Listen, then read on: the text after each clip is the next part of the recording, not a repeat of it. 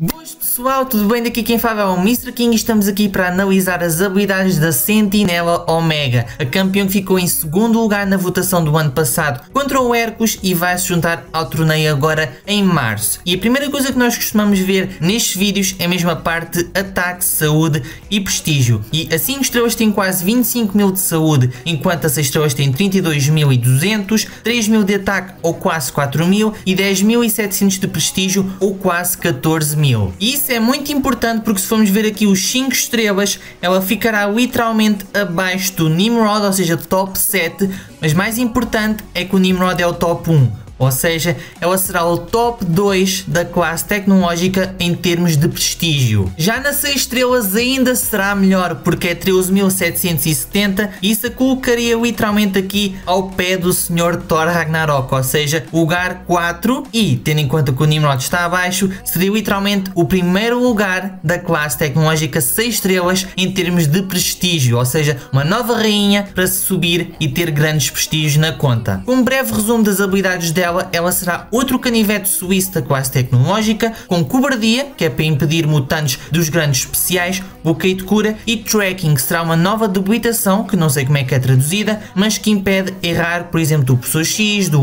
Maw ou de nós que façam errar ataques. Além disso, é uma campeã de incinerar no oponente, mas se for um mutante, tal como acontece com alguns outros tecnológicos que têm uma debilitação diferente para os mutantes, ela vai sim infligir plasma. E é uma coisa que pode ajudar bastante, porque por exemplo o Apocalipse pode ficar imune a incinerar e aqui já não acontece. Agora sim, começando pelas habilidades, ela é uma campeã que não é imune a sangramento e veneno, mas não leva qualquer dano dessas debilitações, o que já é bastante bom e lida muito bem com diferentes nós, como é imune à redução de cura que o veneno tem, porque cada veneno está sempre a conseguir impedir parte das curas que nós estamos a ter ativas. Além disso, ganha um bónus de regeneração que cura 20% da vida perdida dela por 10 segundos segundos. Portanto, não é uma regeneração que vai ser muito potente quando estão quase ao máximo de vida, mas imaginemos, por exemplo, quando estão já a metade da vida. Já será muito mais importante. Esta regeneração não acumula, mas tal como outros tecnológicos, se a pararem, ela perde a regeneração. E já veremos mais à frente que mesmo por ser um bónus, não será um problema. A parte do incinerar vamos saltar por agora e vamos para a habilidade pré-luta que ela tem para escolher as suas debilitações. O modo de cobardia, o modo de bloqueio de cura e o modo de tracking, que é a debilitação como eu disse, para evitar errares, mas pode também ativar durante a luta, mais ou menos semelhante, por exemplo, à Maga Suprema, em que pode escolher o que começa, mas ao mesmo tempo também pode mudar ao longo da luta. Para infligir a debilitação específica, será com o segundo ataque médio, e se o oponente já tiver as três debilitações dos modos ativas, o segundo ataque médio vai sim infligir uma debilitação de incinerar. E em relação às potências das debilitações, é 8 segundos em todas elas, com a cobardia reduz em 10%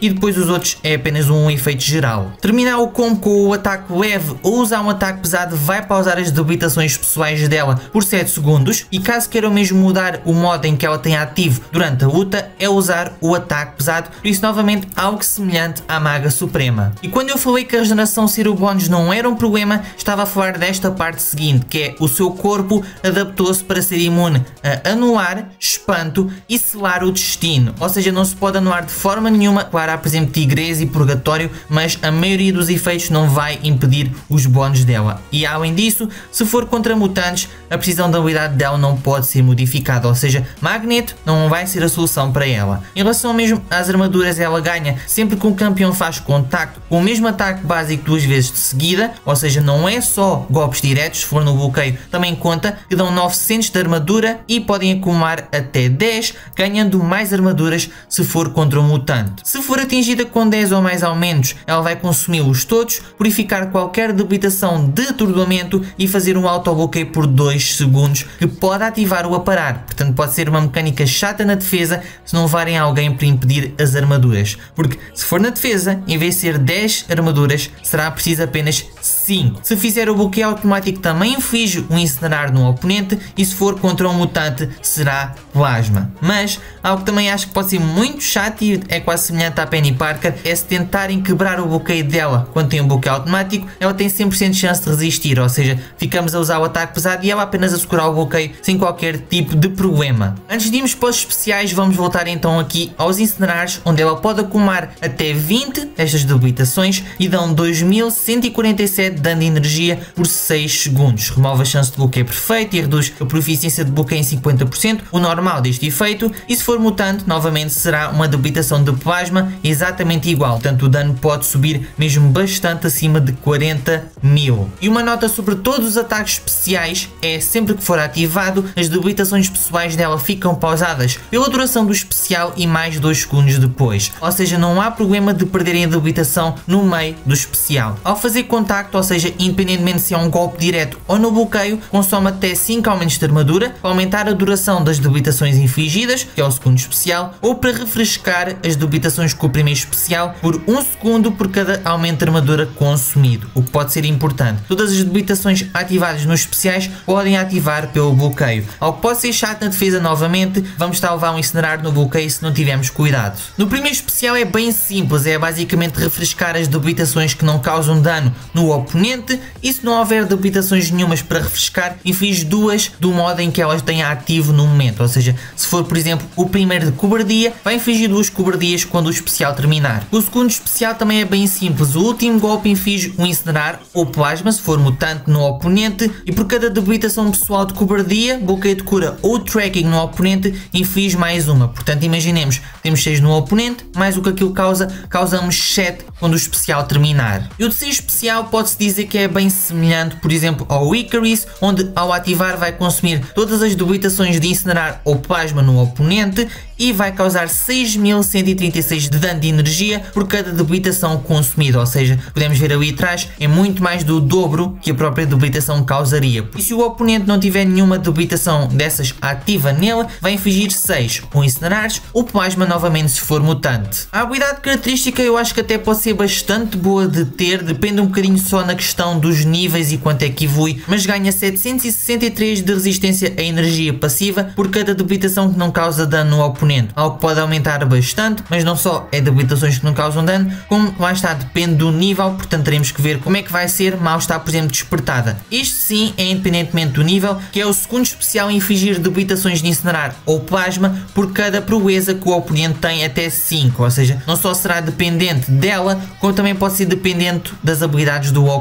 e algo que pode ajudar ela a reconstruir a sua rotação mais rapidamente é que cada aumento de armadura consumido no especial tem 50% de chance de ganhá-lo de volta. Ou seja, mal a rotação termina, ela terá que reconstruir menos das suas armaduras também. Por fim, temos sinergias, não só estas, como as que nós pelo menos sabemos que existem com o Nimrod. Mas a primeira de todas é com o Sentinela clássico, que é o óleo é mais espesso que o sangue. Na parte da Sentinela Omega, é as debilitações de incinerar ou plasma do segundo ataque médio vão também drenar um pouco do poder máximo do oponente, ou seja, não é tanto, lá está, para controlar o poder, mas para evitar terceiros especiais em casos extremos. Demora algum tempo até conseguir isso, portanto não diria que é a melhor opção, por exemplo, em lutas como tudo ou nada ou lutas com energizar. Já que o Sentinela é uma pequena adição, muito mesmo pequena, que é derrubar o oponente, remove um efeito de proeza deles. Não é que seja a coisa menos importante, claro tem alguma utilidade, mas não sei se será muito importante para o Sentinela num contexto mais geral e de uso comum. A sinergia Alpha e Omega com o Professor X e com o Magneto Dinastia X, acho que até é bastante bom para ambos, que no caso da Sentinela Omega